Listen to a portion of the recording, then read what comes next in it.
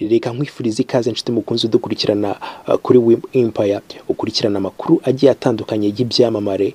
Njyewe nitwa Wispazo akaba n'igihe tugiye kubana kuri uyu munsi wa none. Kora subscribe kugira ngo ujye ubasha kubona ibiganiro byacu bigiye bitandukanye amakuru y'ibyamamare ndetse n'ibindi bigiye bitandukanye. Kuri uyu munsi wa none rero ukaba uri kumwe nanjye Wispazo reka tugaruke rero ku makuru y'ibyamamare tugiye kuvuga kuri uyu munsi tugiye kuvuga ku makuru y'itsinda Sauti Sol Sauti Sol rero rikaba ari itsinda ryatangaje ko uh, ribinyujije ku mbuga nkoranyambaga uh, ryayo ryatangaje ko rigiye gutandukana dore ko iri tsinda mwarimenyereye mu ndirimbo zigiye zitandukanye harimo kuri Kojana, Suzana ndetse n'izindi zigiye zitandukanye. Iri tsinda rero rikaba ryaramenyekanye muri Afurika y'Uburasirazuba mu njyana ya Afropop.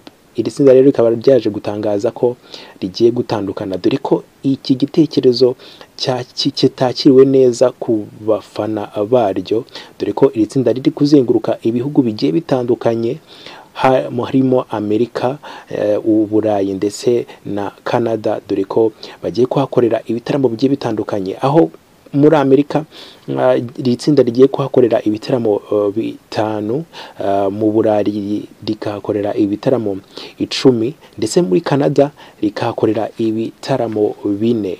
Ibi ngibi rero Sauti Sol ikaba yabitangaje nyuma yo gutangaza nyine ko igiye gutandukana rigiye guhagarika umuziki ho igihe kinini aho buri umwe rero agiye gukora ibigerekeranye nyine n'inshingano ze z'ubuzima bwe bwite bw'ahazaza iri tsinda rero mwagiye mumenya mu bihe bigiye bitandukanye rikaba ryaraje guca agahigo ko guhatanira ibihembo bigiye bitandukanye nka MTV Europe Music Award ndetse na MTV Africa Music Award. Iri tsinda rero rikaba ryaraje kuza gukora n'igitaramo hano mu gihugu cy'u Rwanda. Rikaba rero ryaraje gukorana n'indirimbo n'umuhanzi witwa Man Marite dore ko uyu muhanzi nawe ari umwe mu bahanzi b'abanyarwanda baciye agahigo mu gukorana n'iri tsinda Sauti Sol indirimbo Sauti Sol rero ubwo yari iri gukora nyine igitaramo cyangwa se uburyo yaje kwandika ku mbuga nkoranyambaga zayo dore ko byanditse ko ibitaramo riri kugenda rikora mu bihugu bigiye bitandukanye ari mu rwego rwo kwishimira imyaka makumyabiri rimaze iri tsinda riri gukorana dore ko rifite abafana benshi cyane mu bice bigiye bitandukanye by'igihugu ndetse no ku isi hose. Rero iri tsinda mwagiye murimenye mu ndirimbo nyinshi cyane. Harimo nka kuri Kojana imwe mu ndirimbo yaje gukundwa n'abatari bakeya.